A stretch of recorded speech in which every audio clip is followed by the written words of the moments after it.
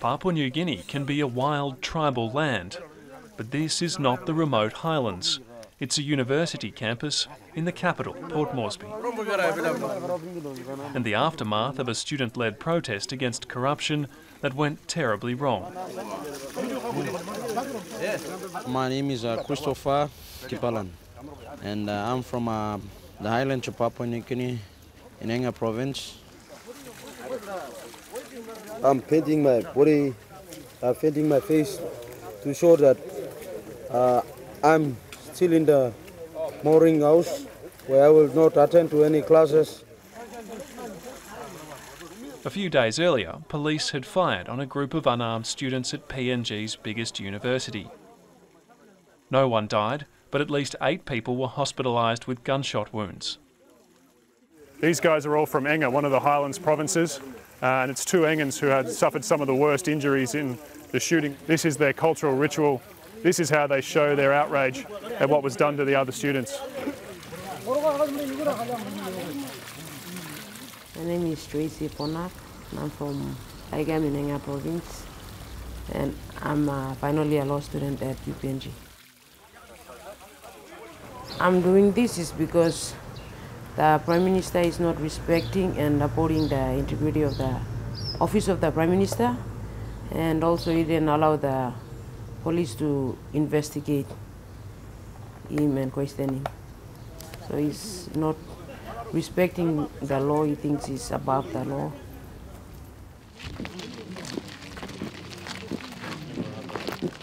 For weeks, students have refused to attend class, despite pressure from the university to resume their studies. Today, this group is marching around the campus, imploring classmates to hold their nerve.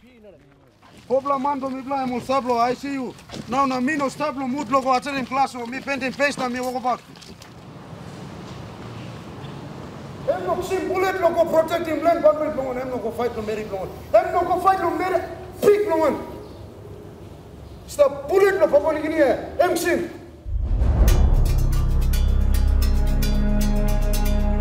Wednesday, June the 8th, the morning of the shooting. The protest starts peacefully enough. Students are demanding Prime Minister Peter O'Neill step aside and allow police to interview him about corruption allegations.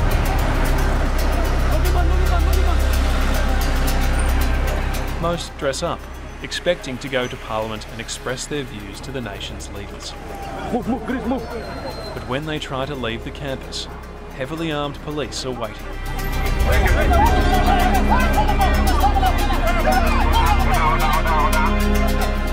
We wanted to do a peaceful protest to the parliament. We weren't harmed to, we, we didn't even carry any gun or stone stick or whatever. We just raised our hand and we were unarmed. You don't know what is going on in this country. We are fighting on behalf of you. There's a standoff. Then, Port Moresby's police chief tries to arrest the president of the Student Representative Council, Kenneth Rapa. The students rush forward to protect their president.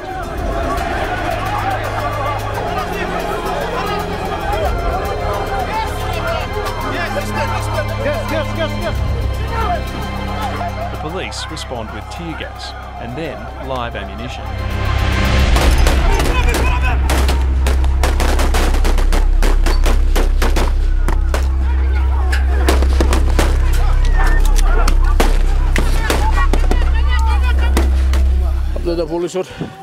Some students flee across a field behind the university and then seek sanctuary in a nearby settlement, one of the poorer parts of Port Moresby. They say police follow them in. While we were running into the bush, they were shooting us, and they were like uh, hunters looking for uh, animal. As police comb the settlement, students back at the university set fire to a truck to create a diversion, hoping, they say, to help their friends escape. Running for their life. It works. But police responding to the burning truck fire more shots, and one student is hit in the head.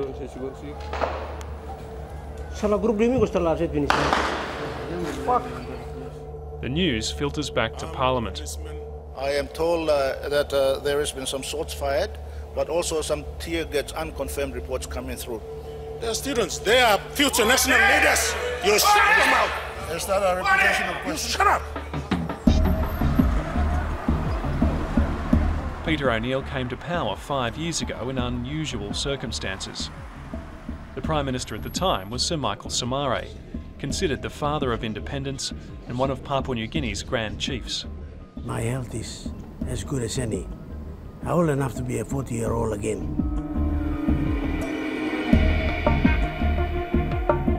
But Sir Michael spent months in Singapore receiving medical treatment. Peter O'Neill gained the support of MPs and made his move. A vote here in Parliament gave him the top job. But Sir Michael fought back, and for a while, Papua New Guinea had two men claiming to be Prime Minister. I'm the Prime Minister of the country. Uh, uh, and uh, and uh, Somare is trying to hijack it with some hooligan policemen. The Supreme Court ruled in favour of Sir Michael, but the Parliament stuck with Mr O'Neill. Part of Peter O'Neill's appeal was his strong anti corruption stance. He set up an investigative body called Task Force Sweep, and it was widely applauded for rooting out corruption. My name is uh, Sam Koim, and um, I am the chairman of Investigation Task Force Sweep.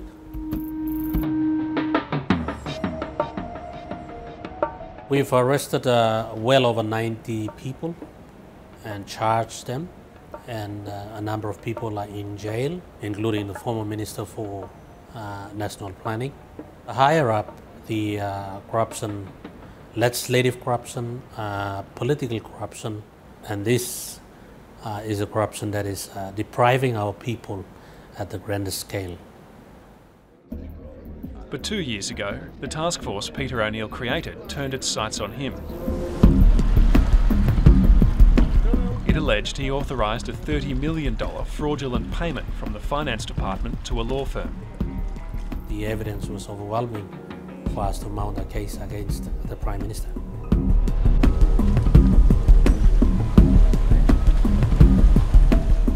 Peter O'Neill denied the accusations, saying his signature had been forged. When anti corruption police issued a warrant for his arrest, Mr O'Neill obtained court orders preventing police from arresting him. He sacked the Attorney General and the Police Commissioner, and he tried to disband Task Force Sweep, but that was overturned in court.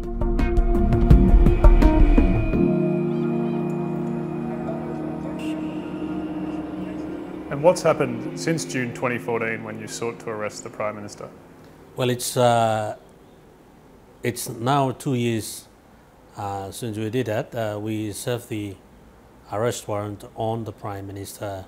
We gave him two hours, and that two hours uh, has been extended to two years now.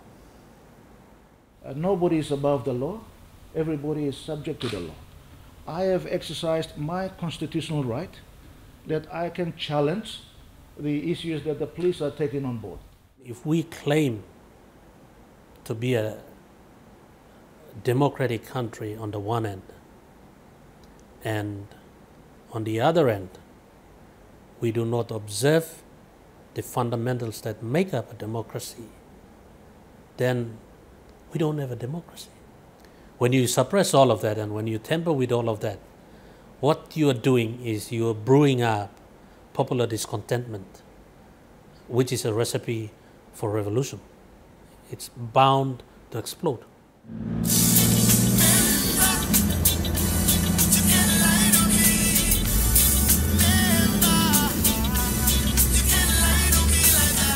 Since the shooting at the university, Student Council President Kenneth Rapa has been on the run. His lawyer takes us to his safe house in Port Moresby. Is President inside? Is inside? She no big blood thing. It's not a big. Okay. Hi. Oh. Nice to see you. if the police can shoot the students on sight, then just imagine other people. They will not hesitate to kill me, or my student leaders. So, in fear of uh, me, me being shot by, uh, you know, other parties and even the police. Surrounded by supporters, Kenneth Rapa explains what he says is driving the student protests. We have nothing against uh, Honorable Peter O'Neill or anyone on that matter. All, what the students are saying is we are fighting for our office, the office of the 8 million people. It's about guiding the democracy that this nation has. As his lawyer discusses his prospects, there's a reminder of the dangers of Port Moresby. Uh, both means good for Kenneth. Yeah. Oh, God. What was the noise? Oh, that was a gunshot. We don't know it's police or uh, some criminal elements. We're not sure. But there was a gunshot from a high-powered gun. I don't think it's a homemade. The gunshot, just a few hundred metres away, goes almost unnoticed by most of the party. You have to go home. They finish their food, pray, and then Kenneth slips off into the night.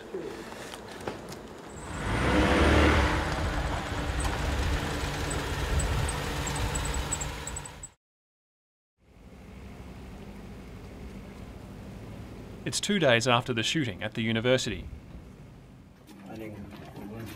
The most seriously injured students have been brought here to Port Moresby General Hospital.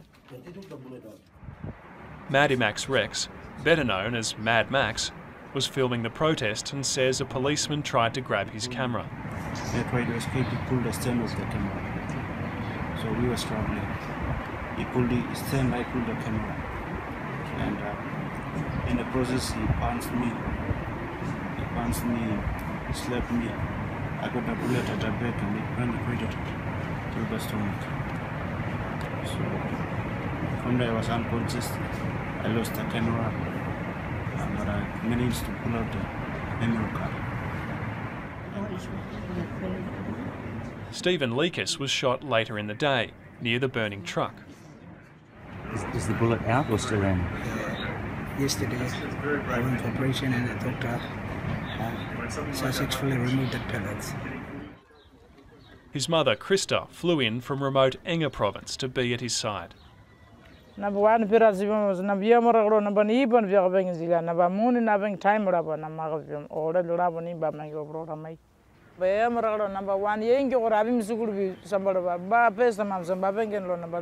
na na ba. Ba ba ba sambeng ko gro jon la ba bra pira bang zibam ba naba ba para la gen la. Tar be ba na le ba ni gibor bira ngonan. angi pira ko sambo man la menam nya kama sugur nyegen la angi agi ko ra mo bu man la mai As we leave the hospital, another visitor arrives. Student Council President Kenneth Rapa, venturing out of hiding. What are you doing here today? Can you tell me about it? I'm visiting my boys. Who are you visiting? Uh, the boys that got shot last time. Uh, doing my first visit today. How you feeling? Scared, terrified, worried, sad. What are you going to tell them? Be strong. And of course, get their kids back into classes. Both the Prime Minister and Police Commissioner declined the ABC's requests for interviews. But in public statements, the Prime Minister claimed the students had been incited to protest by the opposition. Uh, it has uh, come to light that uh, this confrontation was uh, unnecessary. Uh, it could have been uh, handled a bit better by, of course, not allowing these sort of con confrontations to take place. Uh, unfortunately, there are certain uh, elements within the student group uh, influenced by outsiders, obviously with their self-interest, but particularly political interest, who have been visiting students on many occasions. What the government is saying is an insult to the intellectual generation of this country. We are not being pushed by anybody or dictated by anybody. We are doing it because of the knowledge that we have. We know, we understand. We will conduct our own internal investigations and inquiry as to the nature of the injuries that have been sustained by the students and those uh, members of the public. Part of the investigations will also include the conduct of the SRC president and the members of the SRC at the university. The university is in lockdown. The police guarding the campus deny the shootings even happened. Yeah, nobody shot anybody. Nobody shot anybody. Straightforward. We just used uh, gas to disperse the student. That's all. Just gas. Just So, gas. where do the gunshot wounds come from? Who knows? Guns everywhere in this country.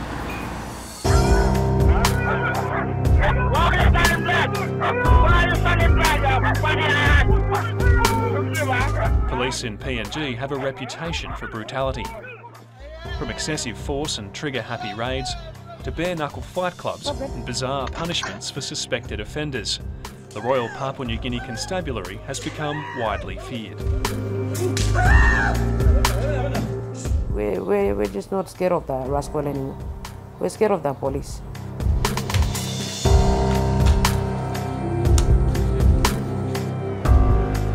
Australia gives more than half a billion dollars in aid each year to PNG, and the Australian Federal Police has 70 officers here providing training and support.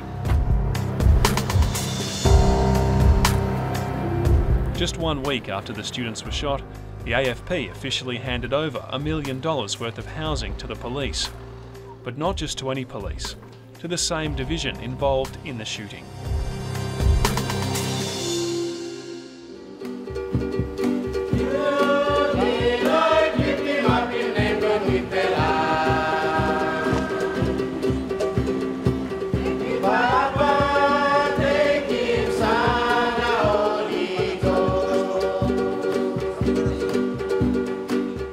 First Sunday after the shooting, and Father Victor Roche wants to address the issue in his sermon at Port Moresby St Joseph's Church.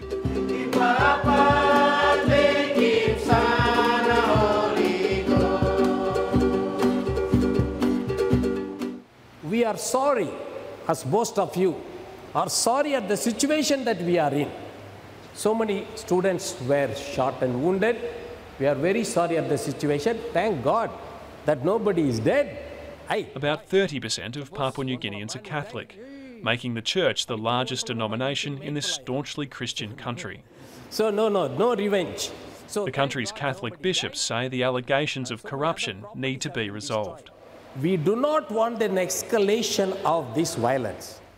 We are afraid uh, that if they are not dealt with now, it will go, it will go more and more, and there will be further escalation of violence. And that's what the Catholic Church would appeal to the leaders that there should be wisdom that prevails. The best known parishioner at St Joseph's is Papua New Guinea's founding Prime Minister, Sir Michael Somare, the man Peter O'Neill ousted. He's waiting for you. Father Roche takes us to meet him. Sir Michael says Peter O'Neill should step aside and allow the corruption allegations to be dealt with. People feel that the government is corrupt. And if it's corrupt, the man on the top should give himself in and say, okay, come and find out what's happening. He doesn't have to resign as a prime minister, step aside as a prime minister, allow acting prime minister to run the show while he's answering questions. Get the commander of the police to step aside, get the police team together and tell them, these are the kind of things you do. You know, you cause aggravation, you cause uh, people to revolt. Provoking, you don't provoke them. Talk to them nicely, and they are well-educated kids. They'll go back and think about it. Yeah.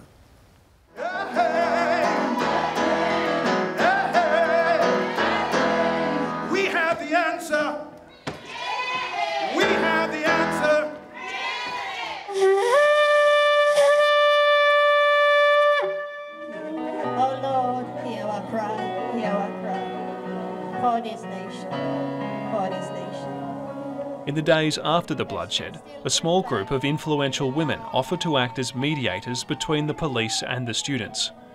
They gather in the capital to hold a traditional mourning ceremony or house cry.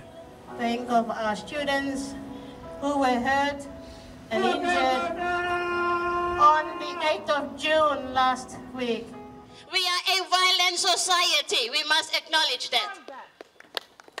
We have domestic violence. We have sorcery. We have tribal fights. We have shootings. We have police brutality. We have all that.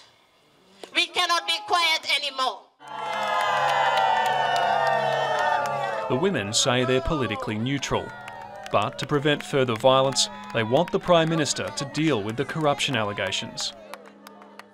Right now, he needs to regain the trust and the respect of the country, and the women are calling for that. You know, we want him to, to realize that before he's a prime minister, he's a human being, and he's a son of Papua New Guinea, and he came from a mother, and so he needs to respect our wishes. There's no such unity among the students. After the shooting, the University of PNG is closed. Vice Chancellor calls for classes to resume, ratcheting up the tension between the students who want to get back to their studies and those determined to maintain the boycott. They want Prime Minister Peter O'Neill to step aside as soon as possible. If he steps aside, class, classes will continue.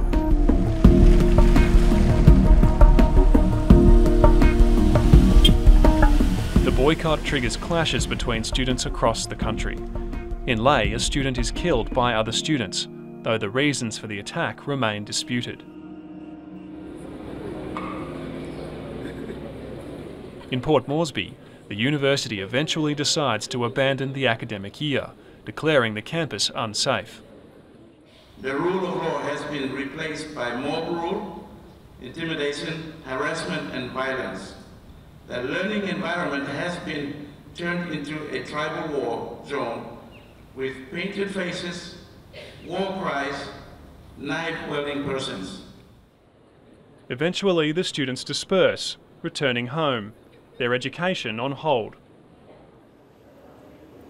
In the weeks following the shootings, opposition against Peter O'Neill continues to grow. A pilot strike grounded domestic and international flights. As for the student marchers who triggered this political crisis, many are now dispersed to settlements and villages across the country.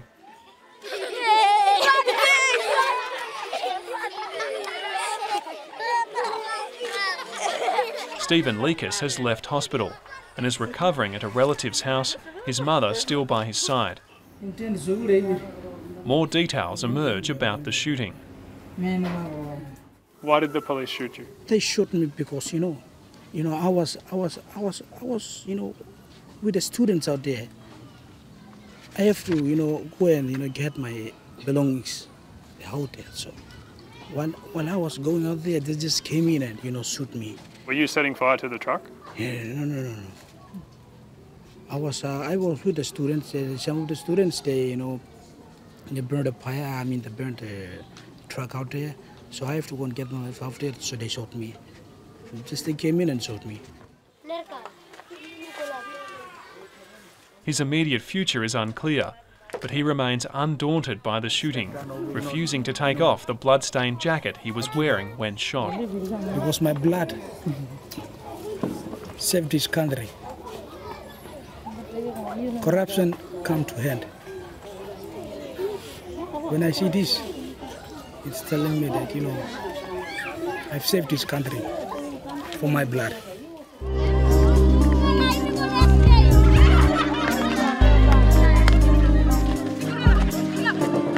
Reality, though, the end of corruption is still a dream, and many Papua New Guineans feel their country still needs saving.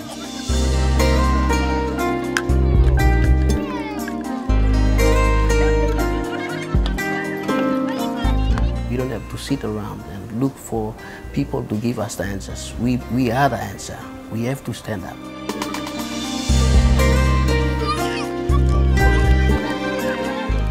And I, for one, and my other fellow students, we are willing to pay any sacrifice that is required to maintain the rule of law and without corruption.